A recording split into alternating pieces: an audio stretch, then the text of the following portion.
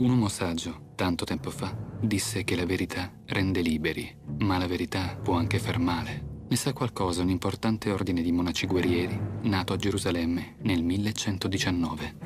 Avevano tanti nomi, ma voi li conoscete con quello di Templari. Tutti o quasi ne avrete sentito parlare, ma davvero pochi ad oggi ne conoscono il vero segreto. Un segreto che la Chiesa tentò di distruggere insieme al loro ordine. Era vero? La risposta è nel mistero contenuto in una particolare immagine conosciuta dai profani con il nome di Baphomet. Molte persone morirono per salvarlo, per custodirne il vero significato affinché, come già accaduto, non venisse travisato. I sopravvissuti aspettarono pazientemente per secoli che Dio o il caso, a seconda di ciò in cui voi crediate, decidesse che era giunto il momento di svelarlo. Per capirne il profondo valore umano, occorre prima di tutto ricordare l'essenza del genuino pensiero templare. Il loro incarico infatti era quello di impadronirsi dei preziosi segreti custoditi nei testi sacri delle altre religioni. Per ben due secoli assolsero il compito talmente bene che un giorno scoprirono qualcosa che non conosceva neppure la Chiesa, la vera identità di Satana.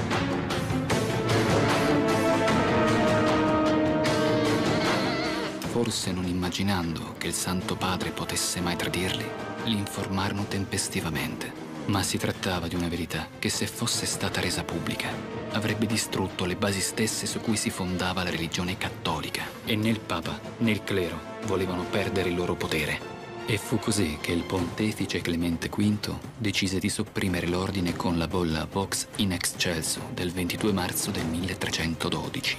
Ma per catturarli approfittò dell'avidità del re di Francia Filippo IV, che bramava di impossessarsi dei loro immensi tesori, i tesori che custodivano su incarico della Chiesa. E così i cavalieri della Rossa Croce furono braccati, imprigionati, torturati e assassinati. Anche il loro gran maestro, Jacques de Molay, venne infine catturato e il 18 marzo 1314, nonostante anche sotto le più atroci torture si fosse sempre dichiarato innocente, fu comunque arso sul rogo. Filippo il Bello, con il pretesto di custodirlo, si impossessò del tesoro templare. Non tutti sanno, infatti, che oggi si trova nel caveau de la Banque de France, la banca nazionale francese. Il Tribunale Cattolico della Santa Inquisizione era invece unicamente interessato ad estorcere con disumane torture false confessioni. Doveva assolutamente risultare che i Templari si autoaccusassero di adorare Satana con il nome di Baphomet, Ebbene, Baphomet non era affatto il signore del male, come credono ancora oggi certe società segrete che purtroppo arrivano addirittura a sacrificargli esseri umani, ma è un insieme di simboli che correttamente interpretati consente di conoscere la vera identità del male e liberarsi dal suo influsso. Fu camuffato da mostro per proteggerlo dall'oscurantismo cattolico, affinché il suo prezioso contenuto non venisse né censurato, né insabbiato, né arso sul rogo. I simboli di cui è composto richiedono una cultura esoterico-sapienziale per essere correttamente interpretati. Il vero esoterismo, infatti, non nacque per nascondere le verità al mondo, ma per poterle tramandare senza essere uccisi da tutti quei poteri, occulti o meno, che dominando con l'ignoranza vedevano nella conoscenza delle verità e dunque nella sapienza la loro più grande nemica. E il vero nome di Baphomet è proprio sapienza, che in greco si dice Sofia. Tutto ebbe inizio nel 650 a.C., quando gli ebrei, schiavi dei babilonesi, scoprirono che il nome del dio che aveva creato e protetto i loro odiati padroni si chiamava Signore degli Abissi, che in sumero si dice En-I. E ritenendolo quindi causa dei loro mali, lo dichiararono nemico e avversario, che in ebraico si dice guarda caso Satan. Poco importava loro che in realtà Enki avesse salvato non solo i babilonesi, ma tutta l'umanità. Agli ebrei dell'epoca interessava solo vendicarsi dei carcerieri, invidiati per le loro conoscenze e odiati per il loro potere. E così iniziarono ad adorare il Dio a cui il Signore degli Abissi si era ribellato per salvare gli esseri umani. E sapete da cosa? Dal diluvio universale. Suo padre, An, il re del cielo, su richiesta dell'altro suo figlio, Enlil, re dell'aria, aveva decretato unitamente al concilio degli dei che la creazione di Enki, ovvero l'umanità stessa, venisse sterminata. E anche qui, ai sacerdoti ebrei, poco importava che gli dei del cielo fossero coloro che avevano tentato più volte di distruggere l'umanità, prima con le malattie, le carestie e ora con il diluvio. Fu per questo che attingendo ai miti sumeri e babilonesi contenuti nella biblioteca di Assurbanipal, scrissero una religione completamente alla rovescia dove si autoproclamarono popolo eletto, tutelato dagli dei del cielo, gli Elohim. Il nome deriva dall'accadico Ilum. Nonostante fossero ostili all'uomo, i vertici ebraici fecero credere ai proseliti che questi dei fossero invece protettori degli esseri umani.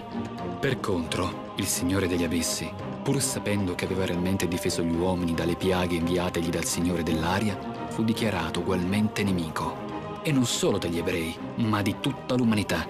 Poco importava che Enki avesse insegnato loro anche la medicina. Non a caso, il suo simbolo, un doppio serpente avvolto elicoidalmente lungo l'asse verticale, è giunto incolume fino ad oggi, proprio come emblema di guarigione e lo potete vedere negli studi medici, presso i farmacisti e sulle ambulanze. Ma il simbolo dei serpenti gemelli è presente anche sul ventre di Baphomet. Qui assume significato originale, che non è solo guarigione, ma soprattutto conoscenza e saggezza, o meglio, sapienza, Sofia. Baphomet fu disegnato come una creatura androgina e al contempo mezzo umana e mezza bestia, le cui dita indicano falci di luna di colore opposto e in posizione opposta, per insegnare che il male non può essere distrutto, tantomeno usando la violenza, perché fa parte dello stesso essere umano. E il suo istinto bestiale, istinto su cui nella preistoria si basava la sua stessa sopravvivenza. Non può essere distrutto, però può essere armonizzato con l'intelletto, che è la parte nobile dell'uomo, il tramite per la sua evoluzione. Le stesse corna di Baphomet, in realtà, sono raggi luminosi. In ebraico, la parola keren significa sia corna che raggi. Ma nella prima traduzione in latino della Bibbia ebraica, la Vulgata, venne commesso un errore di traduzione, al punto che Mosè, che veniva descritto radioso, venne scolpito da Michelangelo con le corna. Chi realizzò la figura del Baphomet per nascondere il vero messaggio invece, lo sapeva benissimo e giocò sull'equivoco. A conferma della positività del messaggio del finto demone, si osservi il centro della sua fronte. Nell'immagine originale vi è una stella a cinque punte rivolta verso l'alto e non invece verso il basso, come lo dipingono erroneamente culti dediti al male. Questo dettaglio è fondamentale poiché è l'umano simbolo dell'aspirazione allo spirituale, alla vera sorgente creatrice di tutto ciò che esiste e al cui interno tutto esiste compreso il suo signore degli abissi e gli ebraici signori del cielo. Il vero messaggio di Baphomet è infatti che la violenza è inutile, non dona potere né migliora il mondo. Il segreto di Sofia insegna che solo armonizzando il male con il bene, solo equilibrando l'istinto bestiale di sopraffazione con l'intelletto, l'uomo e la donna di buona volontà si evolvono. Un abbraccio, Adam.